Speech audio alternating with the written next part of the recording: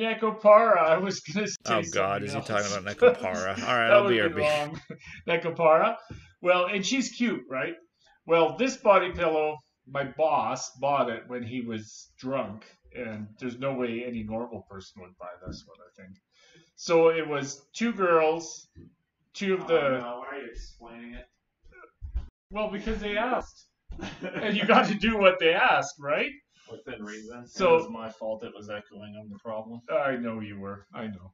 So two girls, they're making out, and it's anal as well as. Oh my god. Okay. You're not supposed to talk about. They asked.